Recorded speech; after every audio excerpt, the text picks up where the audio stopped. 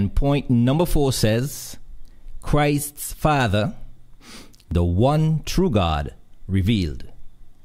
Christ Father, the one true God, revealed. And we are looking in our series, chapter one of the revelation of Jesus Christ, and this is part two. Okay? Christ Father, the one true God revealed is point number four, and the texts for this point are Revelation 1 verse 4, Revelation 4 verses 8 to 11, 1 Corinthians 8 verses 5 to 6, and John 20 verse 17. Okay, so we go right away to our Bible and look at Revelation 1 verse 4. We are reading from the Berean Study Bible. It says there, John to the seven churches in the province of Asia Grace and peace to you from him who is and was and is to come. Okay, grace to you, grace and peace to you from him who was, who is and was and is to come, and from the seven spirits before his throne. All right, so we have here someone who is, who has a throne, his throne and someone who is described as is, was, and is to come. All right? So we need to find out more information on this person. All right? So we can go to Revelation 4 and look at verses 8 and 9. Revelation 4, verses 8 and 9 to get more information about this being who sits on the throne and who is and was and is to come. It says there, and each of the four living creatures had six wings and was covered with eyes all around and within day and night. They never stopped saying, Holy, holy, holy is the Lord God Almighty, who was and is and is to come. So here we have the same uh, title here, or the same description the one who was and is and is to come is the Lord God Almighty. So the one sitting on the throne is or was, um, in terms of at the time John saw it, was the Lord God Almighty. All right? The Lord God Almighty. Let's read verse 9. It says, And whenever the living creatures give glory, honor, and thanks to the one seated on the throne who lives forever and ever, the 24 elders fall down before the one seated on the throne, and they worship him who lives forever and ever. And they cast their thrones before the th- before the throne. All right. So it goes on to say, saying, "Worthy are you, our Lord and God, to receive glory and honor and power, for you created all things. By your will they exist and came to be. So notice the one seated on the throne, okay, the one seated on the throne, again, the one seated on the throne. So lots of information about the one seated on the throne. He is the Lord God Almighty. He was and is and is to come. He lives forever and ever. He receives glory and honor and thanks. And what else can we say here? He created all things, and by his will, all things exist and came to be. So, this is the Father, the creator of all things. And he was the one in Revelation chapter 1, verse 4, who the first greeting when when when when John, when John made the greeting grace and peace from the one seated on the throne right? The one who is and was and is to come. Grace and peace was being sent to the the, the, the believers in the province of Asia in the seven churches so that that grace and peace was being sent to them from the Father the creator of all things.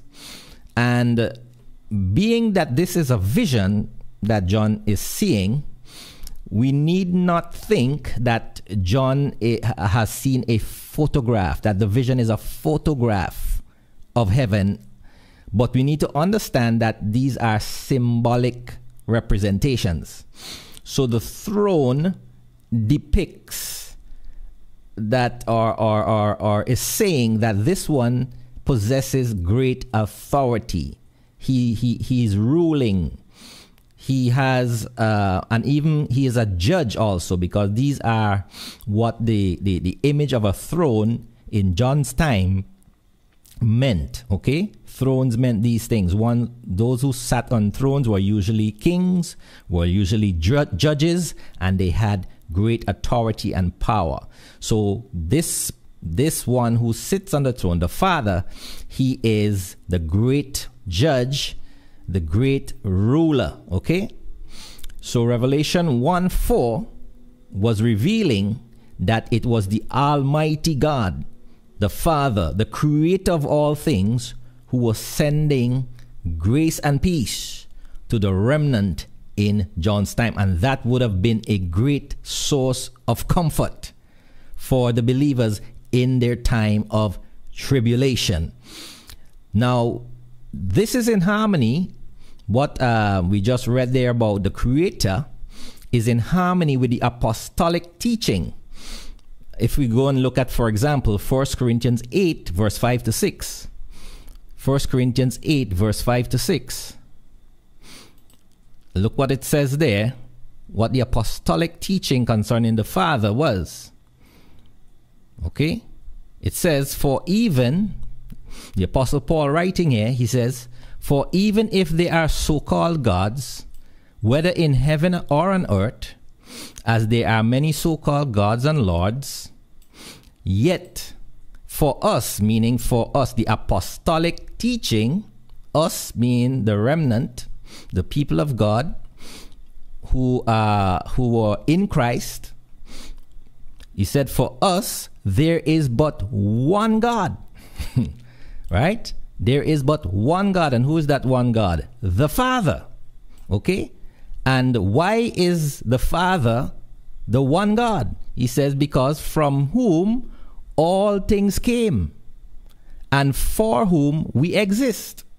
Okay? So you notice that is the same thing that the, the, the beings, the heavenly beings, were praising the one sitting on the throne because by him all things were created and exist. Okay? And this is the same thing that the apostle um, Paul was teaching. He says, For us apostles, this is how we understand it. There is but one God. yes, there are many so called gods. In other words, there are, there are other beings and people and persons in heaven and in her, and on earth who have influence, who have authority, who have power and ability, and and who are judges and who are sons of God. But for us, for the apostolic understanding and teaching, is that there is one God, and that one God is the Father. Why? Because from him all things came. He is the source of everything, right? And for whom we exist, okay? It, we our existence is because of him. And then he goes on to say now, and there is but one Lord, Jesus Christ, through whom all things came and through whom we exist. So we understand now that Jesus is Lord of the Father's creation. Okay? And this was something that was common in the apostolic times. You would have a, a, a, an emperor or a king over an, over, over an empire, and within that empire, that king would have lords governing over specific regions of the empire. Okay, so they would have a king and then he would have lords. And the, the, the, lords would rule with the authority of the king. So whatever they say comes with the authority of the king. Similarly, Christ reigns and rules over his father's creation and he has the authority of the father right? And it says, through whom it is through Christ all things came. So the Father created all things by means of Christ, because remember, Jesus Christ is also known as the Logos or the Word of God. So it is by the Word of God all things were created by the Word of God. So the Father speaking the Word of God, it is through that means all things came into existence. And that's that's what this is saying. All right.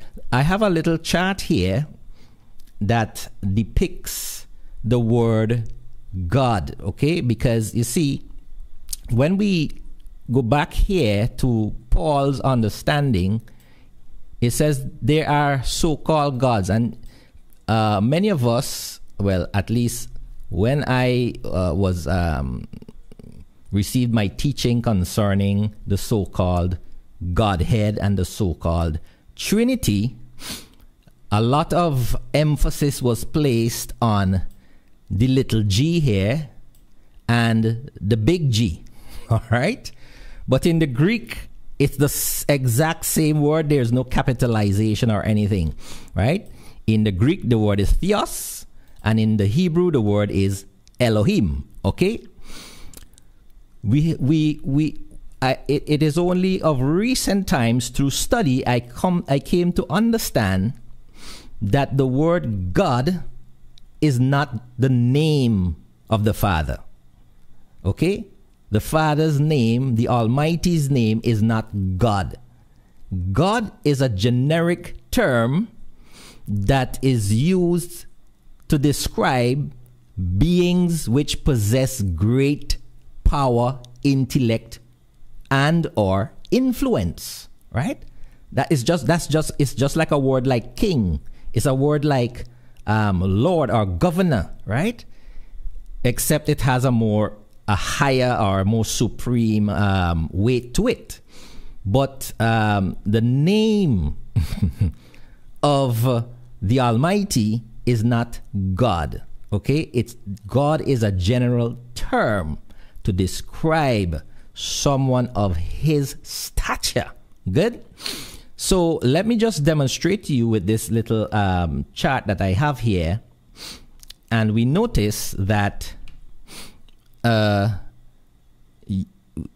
what I what I was saying just now that the word Elohim, which is the Hebrew word, which is translated in your um, English Bible as God or sometimes gods, depending on the context, depending on the verb that follows it if the verb that follows Elohim is a sing is a um, singular verb, then it is translated English God.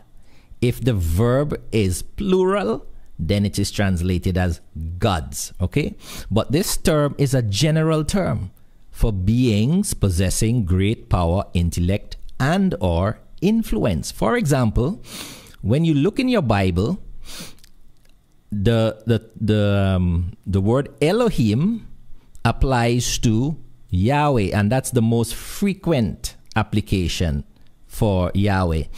Is described as Yahweh Elohim. Okay, um, Yahweh God or Jehovah God or however you want to. Um, there are so many different pronunciations of this word. Yah Yahweh, you know Yahweh, right? But anyway, so I'm using Yahweh for now. So the most frequent time the the word Elohim is used is in connection with Yahweh, okay, which is the Father. And for example, if you go to Genesis chapter 2 verse 4, you will see the word there written as Lord, L O R D capital L capital O capital R capital D. That in the original is um, Yahweh and then the word God is Elohim. But also, the word Elohim is used for deities of non-Israelite nations. Now, this is where in your in your Bible, in your English Bible, it would be translated with a common G, okay, and it, it would be plural, gods, okay. Well, not all the time. Sometimes it would be God or gods, but they would put a common G to indicate this is not Yahweh God. This is the other gods of the Israelite nations. For example, Joshua chapter 24, verse 15, you would see an example of that. But also, the word is used for judges. So in Exodus 22, verses 8 and 9, you will see the word judges, but it's actually Elohim. Okay? And then it's also translated as angels. For example, in Psalm 8, verse 5, you see the word angels in your Bible. Some Bibles render it angels, some would put in the correct word Elohim. But for like the King James and some of these mainstream Bibles, most mainstream Bibles, they would use the word angels in Psalm 8, verse 5, but the word in the Hebrew is Elohim. The word is also used for idols, okay? Uh, these um, graven images which were worshipped by the heathen nations. Genesis 31, verse 30. Actually, um, I think it was uh, Jacob's family who had these mm, uh, little idols, and they were called um, images, right? And in, in your in your King James or modern Bible, it is called images, but the word there is actually Elohim. All right, and also sons of God are also called Elohim, as in in um, Psalm eighty two verse six. Psalm 82, verse 6, sons of God are also called Elohim, right? So, so the word Elohim is not God's name, is not the name of the Father. And if you see, I'm so accustomed to saying it that I even um, I see I have to train myself to say um, Elohim or God is not the name of our heavenly Father. It's his. It, it's a term that describes someone of his stature. All right?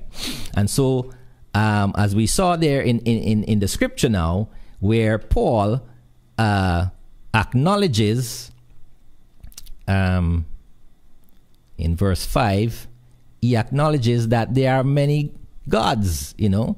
There are deities, they are judges, they are angels, they are even idols, they are sons of God, right?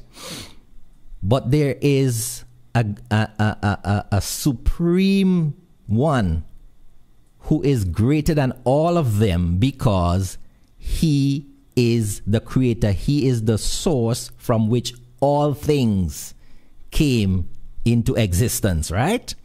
So the apostolic teaching is that there is one God. and that one God is the Father, right?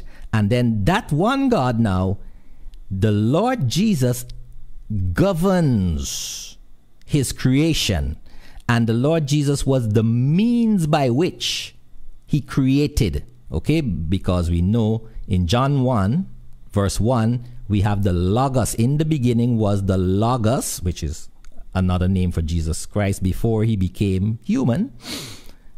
In the beginning was the Logos, and the Logos was with God.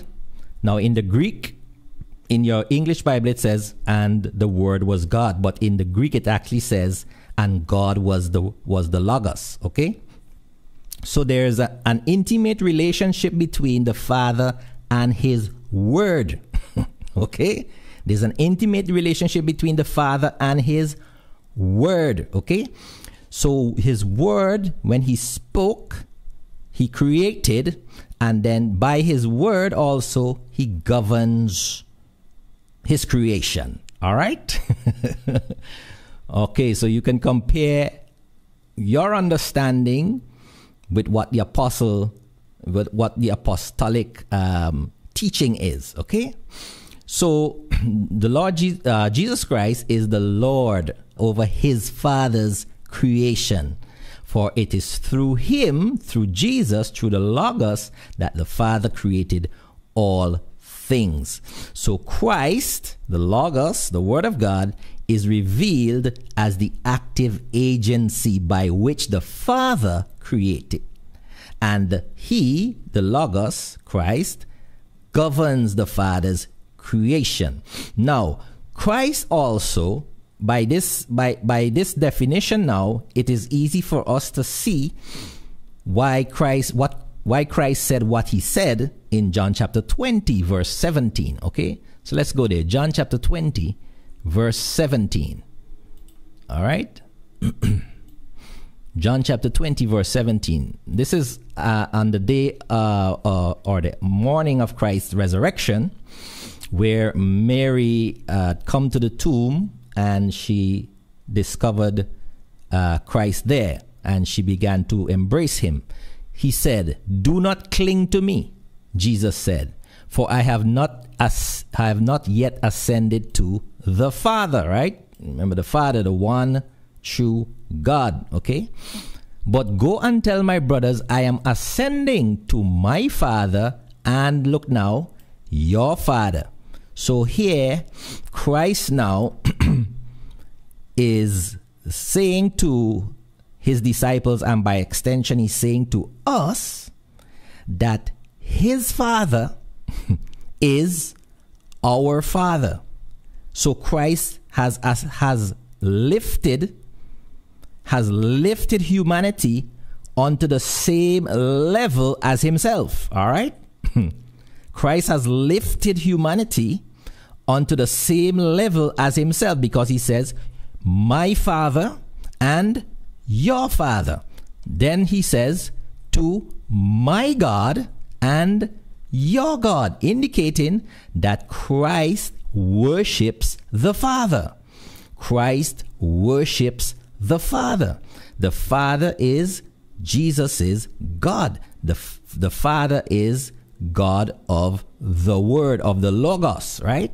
So we understand that grace and peace, got into Revelation 1, verse 4, which we are deep diving into Revelation 1, verse 4, it is revealed there that grace and peace were being sent from the Father through the seven spirits which were flowing from the throne of the Father through the Logos, the Word of the Father, and that grace and peace was flowing to the remnant people of God in the time of John. All right? See, because the Father is the source of everything. So the grace and peace were coming from Him as the source. It was flowing through His Spirit and through his word, which is the which is the Son of God, the Logos, and that it was going to the remnant people. Okay, they received the grace and peace. Okay, now the the the the, the Son, Jesus said in in one place in John chapter sixteen, he says, "I have proceeded and come out from my Father." Okay, so we will deal with with the Son probably in an, in the next study. so so I want to focus on the Father right about now. So okay, I want to focus on the Father. But what we see in here, to my God and your God, Jesus worshipped the Father. Okay, Jesus' is God was the Father. He, the Father, was worshipped by the Son, and the Son called the Father my God. All right? However, the Father has no God. the Father has no God. He calls no one Father. He calls no one his God because that is why he is called the Most High God. All right? Because as it's as as as the apostolic teaching said, for us, there is but one God, the Father. Why? Because all things came from Him. So there was nothing before Him. all right? So then He cannot call any other, He cannot worship any other God because there is none before Him. There was, there's, and there's none higher than Him. However, the Son worships the Father as His God, right? Because it is from the Father, the Son proceeded out as the Word of God. All right? So the Father is the Most High God. The Father does not have a Father, He is self existent. All right? So the Revelation vision revealed that the beings in heaven worship the one seated on the throne and they ascribe to him all power and glory. Why? Because he created all things. And it was being revealed that his master plan was to bring about the kingdom of heaven in his desire to be one with man who was made in his image and in his likeness.